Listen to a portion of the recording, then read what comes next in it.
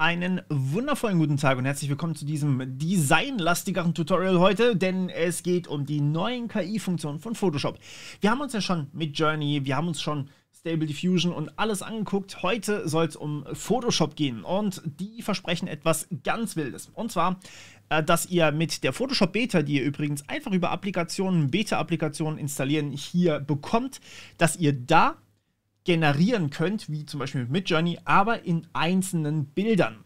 Und dadurch eben auch Teile von Bildern verändern könnt. Und da gibt es ein paar beeindruckende äh, Demos. Ähm, und ich habe mir jetzt heute zur Aufgabe genommen, euch mal so zu zeigen, ähm, wie gut das Ganze ist. Ein Clou an der Sache ist allerdings, Photoshop bzw. Adobe hat ihren Bildgenerator oder ihren KI-Generator nur mit Software trainiert beziehungsweise Bildern trainiert, die man auch in der Praxis benutzen darf, kommerziell benutzen darf vor allem. Das heißt, das ist wahrscheinlich für viele Firmen so der Anlass, dass sie zum Beispiel mit Journey nicht mehr vertrauen müssen, dass die auch wirklich rechtlich in Ordnung sind, sondern sie können einfach Photoshop benutzen, weil die sind rechtlich in Ordnung. Zumindest sagen sie das und ansonsten kriegen sie eine Klage.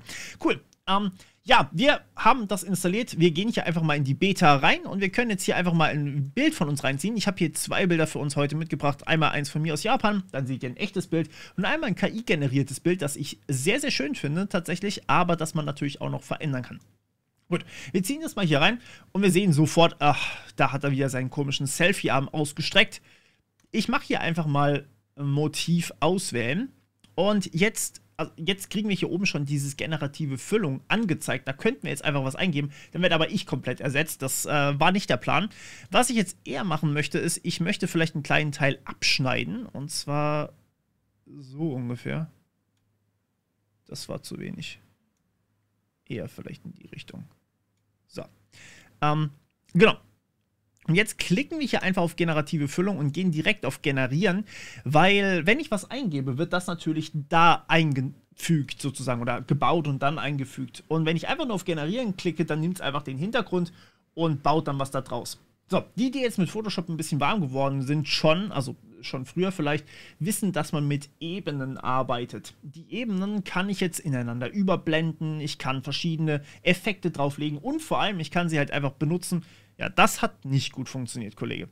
Okay, ähm, machen wir das nochmal weg.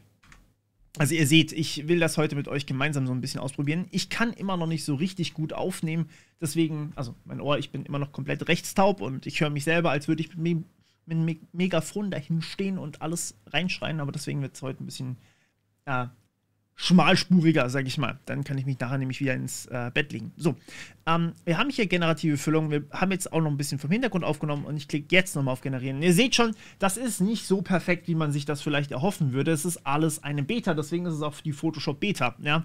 Ähm, wir erwarten jetzt hier nicht irgendwie Hexenwerke oder sowas, aber ich erwarte zumindest, dass da kein Arm am Ende ist. Vielleicht mache ich einfach gleich einen River draus. Im Übrigen kriege ich hier oben auch immer drei Varianten, ähm, wie das Ganze auszusehen hat. Die hier sieht ein bisschen seltsam aus, die hier ist noch quasi genau gleich und die hier ist irgendwie auch seltsam. Also es bringt nicht so viel, das glaube ich so zu machen. Ich würde das jetzt tatsächlich mal mit River probieren. Na komm, so. River. Ja, yeah, maybe, maybe not. Nicht das erste. Das ist ein... Okay. Okay, ja, das funktioniert nicht gut. Also das hat auf jeden Fall schon mal nicht funktioniert. Ähm, wir machen jetzt hier einmal kurz, wir machen nicht Hintergrund entfernen, ich mag den Hintergrund, deswegen ist das Foto überhaupt entstanden. Ähm, wir machen jetzt hier mal was und sagen hier, wir wollen hier ein, ein, äh, ein Reh reinspawnen. Deer.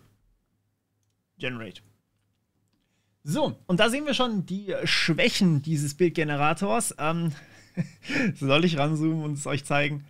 Ja, ne? Naja. Ich bin nicht so überzeugt davon. Ich hole jetzt mal noch ein anderes Bild raus. So, und ich glaube, das ist auch kein einfacher Job, was wir hier jetzt vorhaben mit diesem Bildgenerator. Das ist übrigens ein Tempel. Das ist wahrscheinlich der dekadenteste Tempel, den ich je gesehen habe. Und er ist sehr, sehr schön. Ähm, aber darum geht es hier nicht, sondern es geht darum, dass hier ein widerliches Gerüst ist. So, und ein Schild. Was machen wir damit? Naja, wir machen es weg. Ähm, und das wählen wir hier einmal so aus. So, okay. Ähm, wenn ich jetzt auf generative Füllung klicke, sollte im Grunde genommen hier gefüllt werden mit dem, was außenrum ist, richtig? Probieren wir. Wir machen einfach mal nichts rein und schauen uns an, was dabei rauskommt. Ich erwarte jetzt hier eigentlich, dass da Steine aufgefüllt werden. Und Alter, hat das gut funktioniert. Holy shit. Okay, das ist richtig gut. Das heißt, ich glaube, hier hat es einfach nicht erkannt, was das überhaupt für eine Perspektive sein soll. Vielleicht bin ich auch einfach scheiße im Fotoschießen, aber das hier hat richtig gut funktioniert. Look at that. Ich sehe nicht mal mehr, wo das war. Doch, okay, man kann es erkennen. Die Steine sind ein bisschen matschiger. Ja, man kann es erkennen, wenn man es weiß. Aber es ist richtig gut. Finde ich super. Jetzt schauen wir mal, ob wir das mit dem, mit dem Poller hier auch noch hinkriegen, mit diesem kleinen Ding. So, wir nehmen ein bisschen mehr einfach außenrum. So, plopp. Machen hier einfach mal generative Füllung mit nichts. So, und da sehen wir, das hat auch ziemlich gut funktioniert. Sieht nicht schlecht aus, allerdings ist der Hintergrund hier deutlich besser. Ich würde jetzt allerdings tatsächlich mal euch zeigen, was ich damit meinte vorhin, dass das richtig, richtig geil wird, in Photoshop das Ganze zu haben. Weil jetzt habe ich hier nämlich separate Ebenen dafür. Das heißt, ich kann hier einfach hergehen, kann hier das Ding markieren. So, ungefähr, muss ja nicht genau sein. Und kann das hier mal so machen. Und jetzt machen wir hier einfach ein, ähm, einmal die Auswahl invertieren, beziehungsweise umkehren. Und dann gehen wir hier oben rauf und machen hier einfach mal so ein ähm, wir malen mal hier auf der Ebene rum. Und zwar mit schwarz, dass man das auch nicht sehen kann hier. So.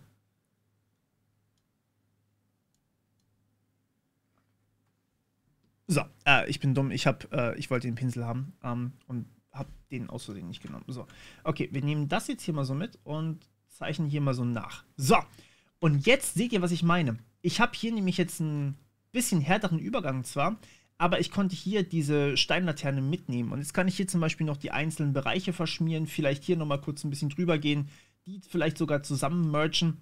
Ähm, einmal hier kurz nach unten vereinigen, genau, reduzieren und reduzieren. Jetzt kann ich hier vielleicht nochmal mit dem generativen Inhalt hier so ein bisschen nachhelfen. Das sieht schon mal ein bisschen besser aus. Also ihr müsst überlegen, ne? der linke Teil war das Originalbild. So, und da sehe ich jetzt tatsächlich keinen Poller mehr. Oh, mal weg hier. So. Das finde ich ehrlich gesagt ganz gut. Da sieht man noch was. Da müsste man jetzt nochmal drüber gehen. Das haben wir aber auch noch nicht gemacht.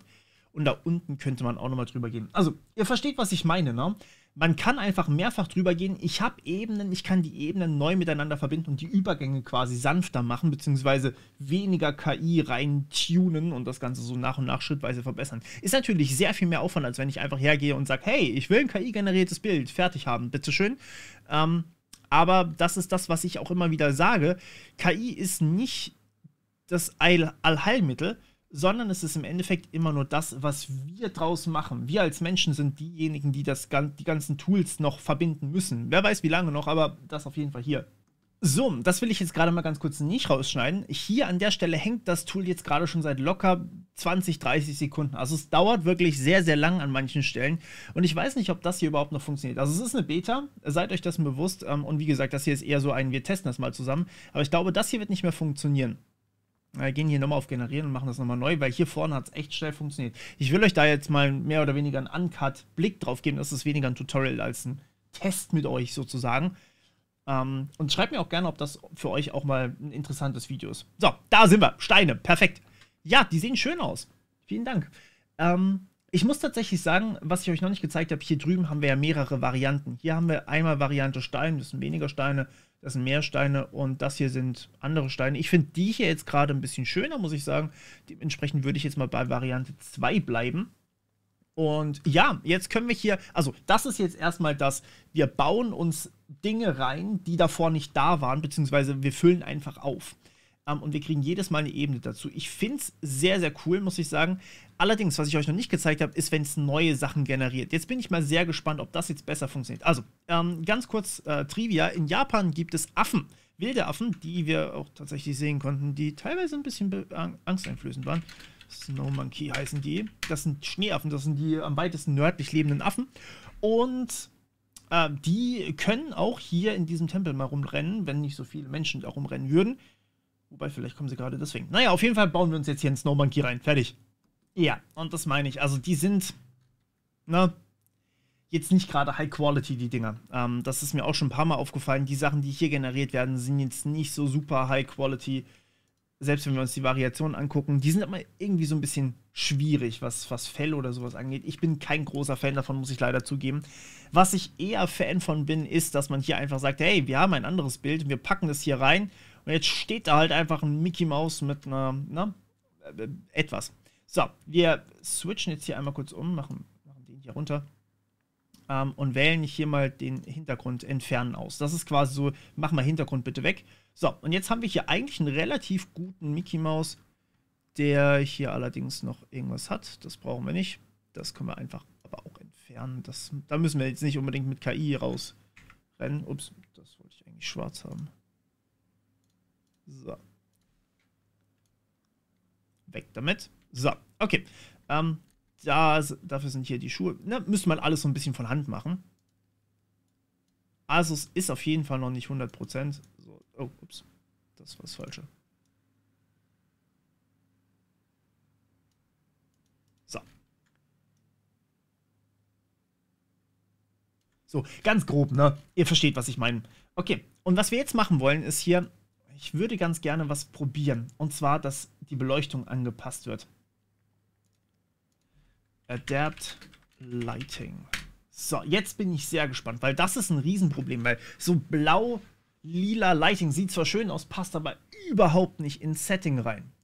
Und ähm, ich will wissen, ob das jetzt funktioniert hier. Ich habe das tatsächlich noch nicht getestet. okay. ja, das war, das war, okay, gut. nee.